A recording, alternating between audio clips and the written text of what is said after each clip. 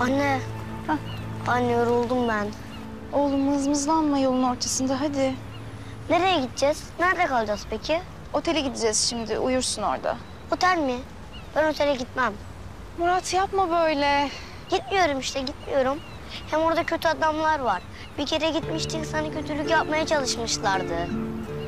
Bir tanem bu sefer başka bir otele gideceğiz. Korkacak bir şey yok. Eskiden de o. Anne gitmeyelim lütfen. Kalacak yerimiz yok oğlum. Mecburuz zaten mecbur olmasak gitmezdik. Bana ne gitmeyelim. Korkuyorum ben. Murat başka çaremiz yok dedim sana. Dede mi gidelim o zaman? Dedene gitmeyeceğiz Murat. Otele gidiyoruz yürü. İstemiyorum. İstemiyorum dedim. Oğlum sen niye böyle yapıyorsun bana ha? Bana ne gitmiyorum işte. Hem kırmızı şimşek de evde kaldı. Onu da almadık. Hep bana yalan söylüyorsun. Bir daha otelde kalmayacağız demiştin. Şimdi yine beni otele götürüyorsun.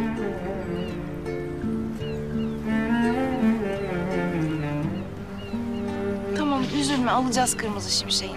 Gerçekten mi? Evet. Ama sen de otelde benimle kalmaya söz vereceksin. Anlaştık mı? Hadi o zaman.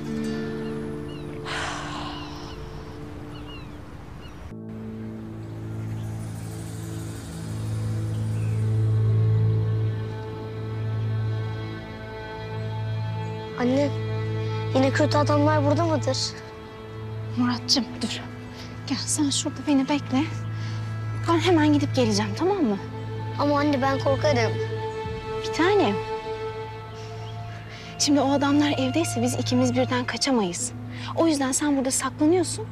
Ben hemen gelip seni alıyorum. Anlaştık mı? Tamam. Geliyorum hemen ben.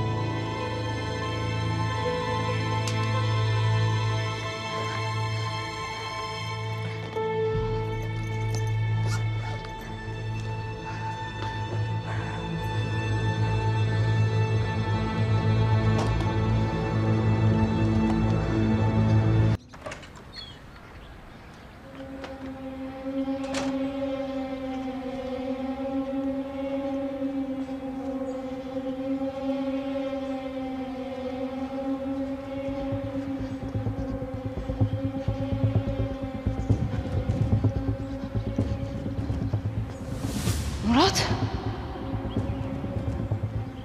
Murat. Murat. Murat. Murat.